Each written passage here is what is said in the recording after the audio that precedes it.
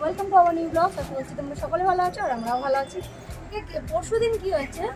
JoJo নিচের ঘরে খাটে উঠে, এত দুষ্টু, খাটে উঠে মাদের খাটে টয়লেট করে দিয়েছে বিছানার ওপরে তো সেই বেড কভার টেড কভারগুলো দুটো বেড কভার পিলো কভার সব যা ছিল, সব কাচাকুচি হলো। আজকে, কালকে আর হয়নি। তুলে রেখেছিলাম, আর সকালবেলা উঠে কি কাণ্ড দেখো? এসে গাছগুলো জল দেবো বলে কলটা ভেঙে গেছে। ওই ট্যাঙ্কের ঢাকনাটা খুলে খুলে জল দিতে লাগে। খুলেই দেখছি, একটা টিকটিকি ভাসছে। মানে মোড়ে ফুলে পড়ে আছে, কি অবস্থা? কালকে অ্যাকোয়াগার্ডে জলও ভরা হয়েছে। এখন ভাবছি মানে কিছু হয়ে না যায়। এখন অ্যাকোয়াগার্ডের যে জলটা ভরা আছে, ওটা তো বলেছি যে ওটা ফেলে দিতে। ওটা খাব না আর মানে খাওয়ার কোনো প্রশ্নই ওঠে না। আর এই ট্যাঙ্কের জলটা সব মোটামুটি খরচ করে ফেলেছি সকালবেলা। মাকে পাম্প চালাতে বারণ করেছি। ওটা খরচা করে ফেলেছি। এতটুকুনি মতো আর নিচের দিকে আছে। ওটাও এবার খরচা করে ফেলব, ফেললে আর সৌমেনকে বলেছি ওটা ভালো করে পরিষ্কার করতে। পরিষ্কার হয়ে গেলে তারপরে আবার জল করতে এখন বুঝতে পারছি না যে অ্যাকোয়াগার্ডের জলও তো খাওয়া হয়েছে, কিছু হবে নাকি, কিছু বোঝা চলো আজকে সারাদিন ভিডিওটা দেখতে থাকো, কি কি হয় দেখো। আর একদম স্কিপ করবে না। ভালো লাগলে অবশ্যই কিন্তু একটা লাইক করবে। আর যারা নতুন আছে চ্যানেলে তারা সাবস্ক্রাইব করবে। এত তাপ মানে এক্ষুনি দিয়ে নিচে গিয়েছি, গিয়ে আরুষের কটা আবার জামা কেচে এনে দিয়েছি দেখছি শুকিয়ে গেছে। মোটা বেড কভার এর মধ্যে শুকিয়ে গেছে। তুমি কি যুদ্ধ করবে নাকি? ওই সব কি সব ঢাল তলোয়ার সামনে হয়ে আয়রনে আয়রন আয়রন আয়রনে ও আয়রন ও এখন এতটা জল আছে? জল থাকে তো ওই পাইপটা পাইপটা হবে তো এবার কি করে ফেলবে ওটা? এটা এই করে করে ফেলতে হবে জল তুলে তুলে ফেলতে ইসকে আজকে গন্ধ বেরোচ্ছে দেখেছ? এটাতে হচ্ছে না দেখেছ? কেন হবে না? ওটা গিয়ে করো ভাঁজ করো না থাকবে না।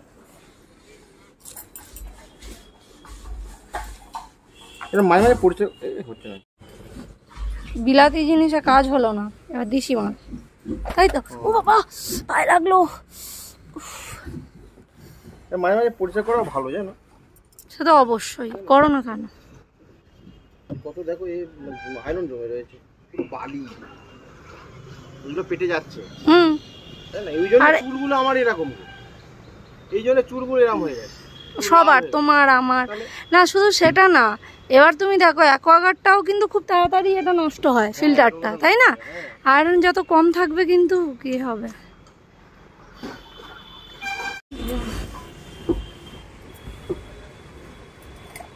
ভিডিও করতে হবে না কাজ কি আর আমি করি তাই। রাত দিন ঘুমাই। নৌকা চালাচ্ছে যেন মনে হচ্ছে। দাঁড় বাইছে।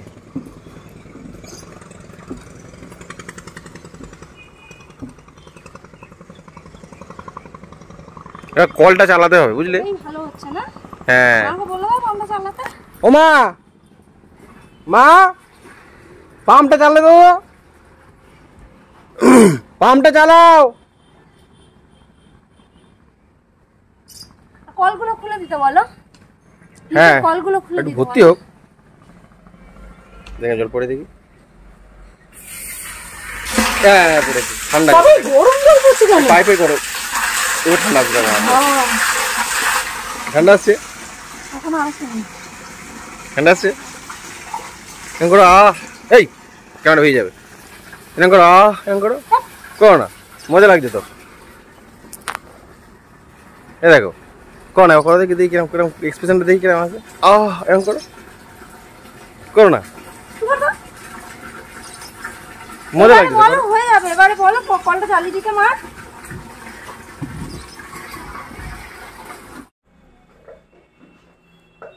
আরও কি করছে দেখো আমাদের পুরনো যেটা ছিল না এ বাবা আমি ছোটটা অর্ডার করেছিলাম বড়টা এসছে। পুরোনোটা নষ্ট হয়ে গেছে। কালকে মুছতে মুছতে দেখতে পাচ্ছি যে আর কাজ করছে না। আর এগুলো না হলে না প্রচণ্ড প্রবলেম হয়। ওই জন্য কালকে কত রাতে তখন না সন্ধ্যাবেলা না?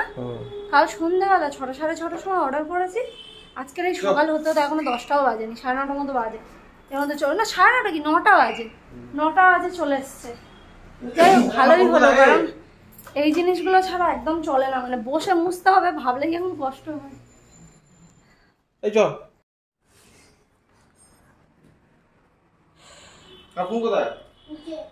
আমাদের আগে যতগুলো ইউজ করেছি সব মিল্টনের ছিল। এবার একটা সেলো নিয়েছি। দেখি সেলোটা কেমন।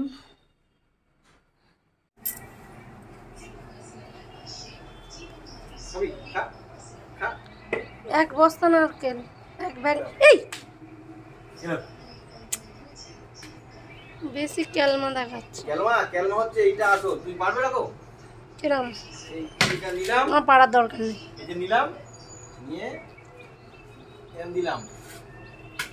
দিলাম। দিলাম। দিয়ে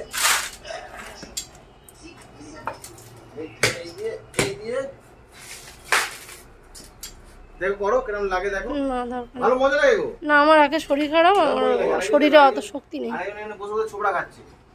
কি হচ্ছে হ্যাঁ? দাদা জন্য নারকেল কেটে দিচ্ছি নারকেল খাবে। ও নারকেল খায় জানো? নারকেল খেতে ভালোবাসে। এনে নারকেল খা দেখি এনে। খাই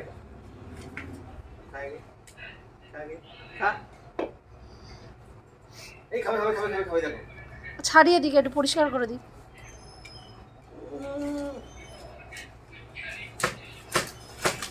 নারকেল ফাটানো প্রতিযোগিতা হোক কার মাথায় কি কটা নারকেল ফাটাতে পারে? কি কি দরকার আছে? ওগুলো নষ্ট করার নারকেল ফাটাতে পারে কি? কার হ্যাঁ। মাথায়?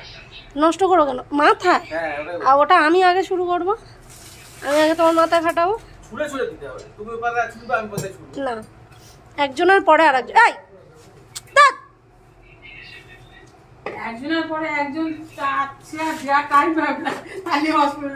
সেই জন্য তো বলছি ওর আগে হয়ে যা। তবে তবে সানাসি এতগুলো ছাড়াতে পারছি। দা দিয়ে আমি ছাড়াতে পারি না। দা দিয়ে প্রচণ্ড কষ্ট হয়। সানাসি দিয়েই এক চান্সে অনেকগুলো নারকেল ছাড়ানো যায়। মানে একবারেই একশো নারকেল ছাড়ানো কোনো ব্যাপার না কম্পাউন্ড তো ছাড়াতে পারে। না আমি পারি না আমি কোনোদিন ট্রাই করে দেখিনি। কি সিনেমা হচ্ছে এটা? এই আশিতে আসিও না মনে হচ্ছে। হ্যাঁ হ্যাঁ এরা দুজন আছে মানে আশিতে আসিও না। হ্যাঁ।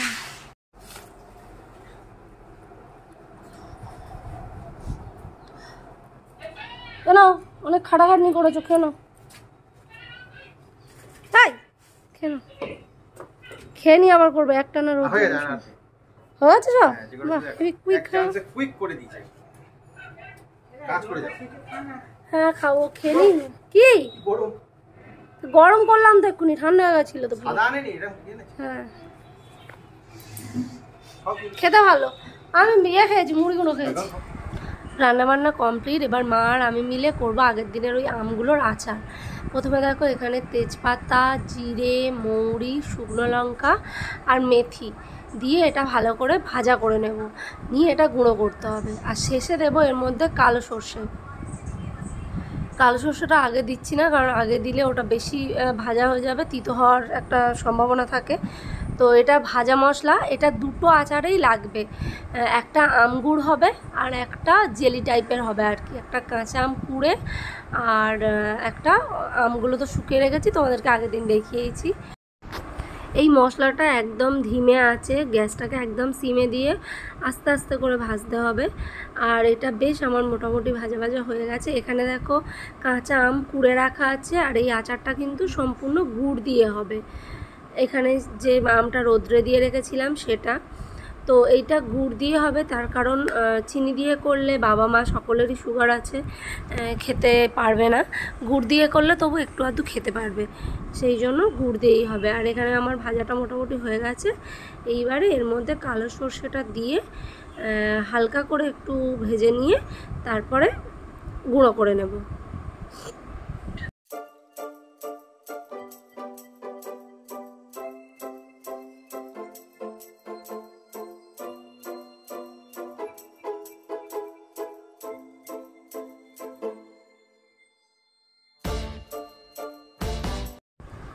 কড়ার মধ্যে একটু সামান্য তেল শুকনো লঙ্কা আর পাঁচ ফোড়ন দিয়ে আমগুলোকে দিয়ে দিয়েছিলাম।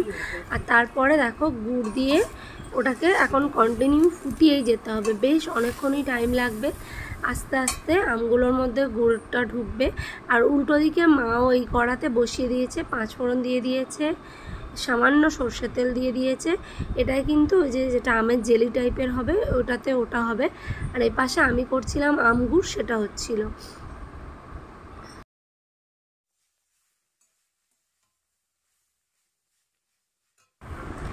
মাও এদিকে এটা শুরু করে দিয়েছে। তবে এই আমটা থেকে এটা যেহেতু একদম কাঁচা ছিল, ওটা তবু দুদিন রোদ্রে দিয়ে শুকনো হয়েছিল।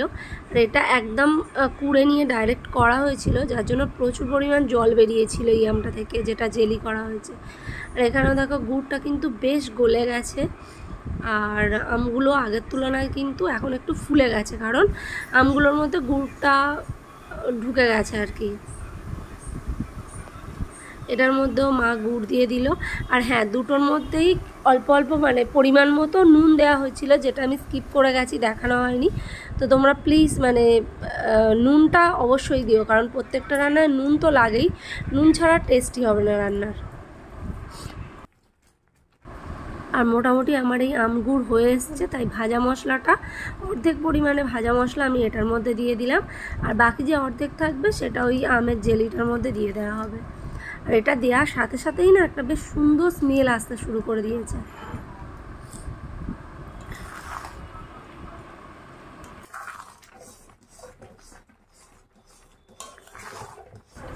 এখানে আমার আমগুড় তো এখানে হয়েই গেছে।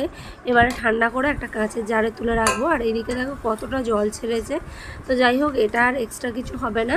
এইভাবেই জলটা মরে যেতে ঠান্ডা করে তারপর একটা কাঁচের জারে তুলে নেওয়া হয়েছে। তো যাই হোক তো আজকের ভিডিও ভালো লাগলে অবশ্যই কমেন্ট করো লাইক করো। আজকের মতো টাটা।